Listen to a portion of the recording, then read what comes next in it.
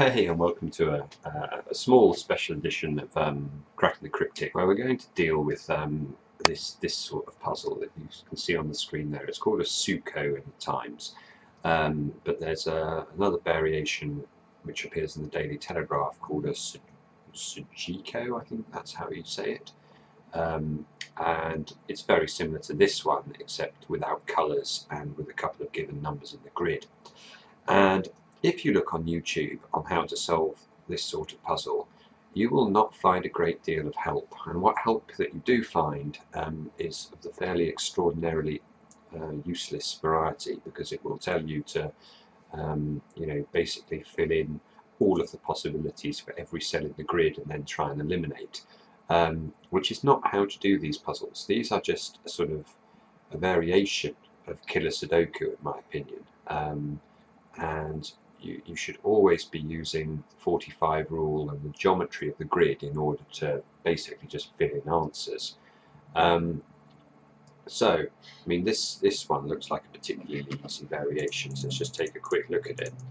Um, well, the pink numbers sum to 12, and these four boxes sum to 15, we can fill that in as being a 3.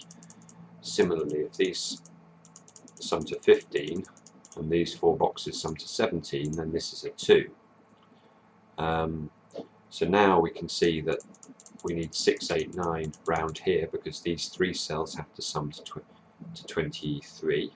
Um, so I mean, if you need to, we can just do this sort of thing here.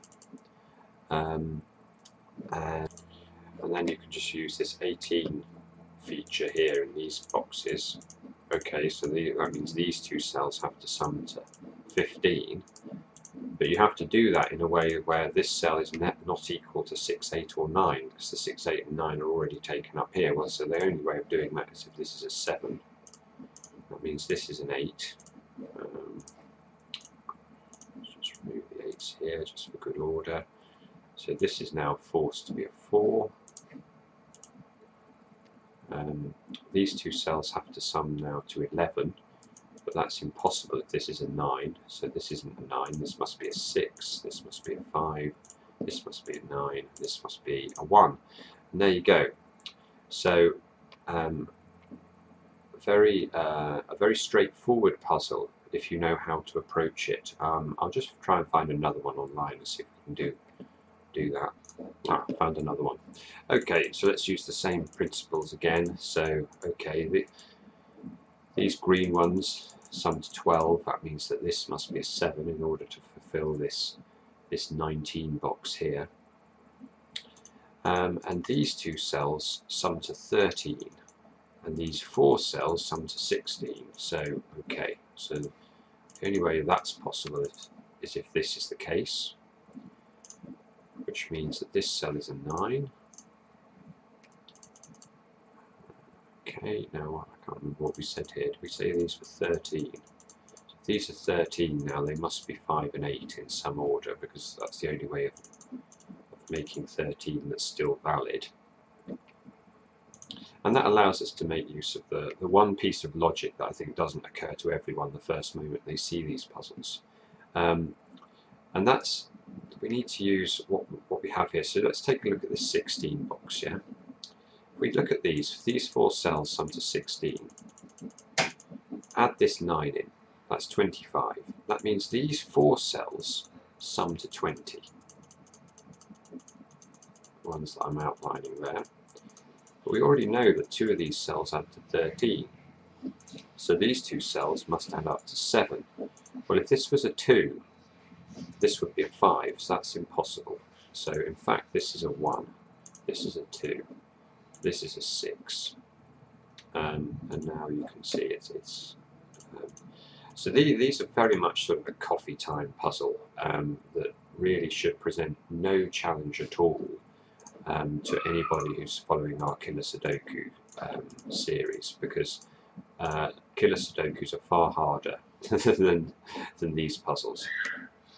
I've just I found another one on the internet, so let's just do that.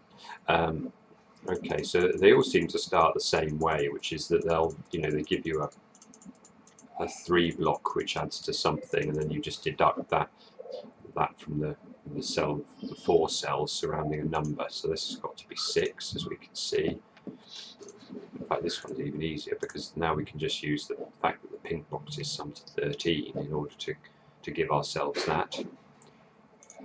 Um, but then we can we can see that this one just requires a tiny bit of logic. So um, what I always think we should do with these is find big numbers like this 26 and see if you can add on another number like this one for example um, to give yourself um, a handle on what the other four cells must be. So 26 plus 7 is 33. These four cells therefore have to add to 12 because of the 45 rule. We've already got the 6. Well that's really helpful because, oh, just press that, sorry. That means that we've got 1, 2, 3 around here. And in turn, if we look at this 22 box in four cells, well, I need I need I need this to be a 2, 3, otherwise I can never make these cells big enough. So neither of these is a 1, this is the 1. Uh, this has got to be 8 and 9. Um, let's just move that down like this. This is 4, 5, and this is 4, 5. And now we use the green boxes, uh, which have to sum to 11, which means that the only way this works is if this is 2, this is 8, this is 9, and this is 3.